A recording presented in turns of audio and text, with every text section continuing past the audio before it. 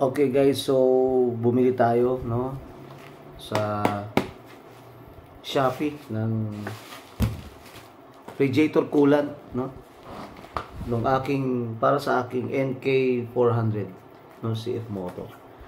So bubuksan na natin. Buksan ko na siya.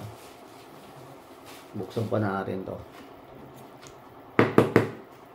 So ito, actually na napaano ka na yung motor na papalitan ko na ng radiator coolant sa 01 Moto.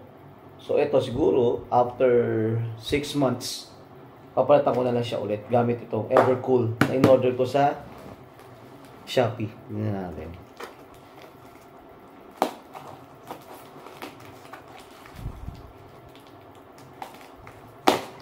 Hop, na siya.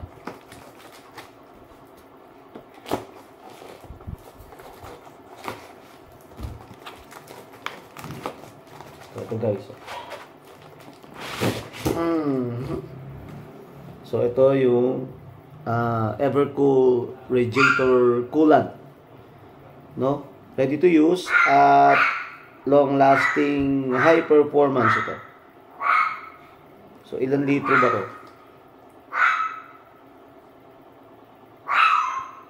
So, ano siya? August 17, 2022. So, this is 2 liters. No?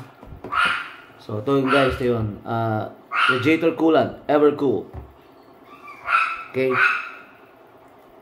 So, bye-bye. God bless.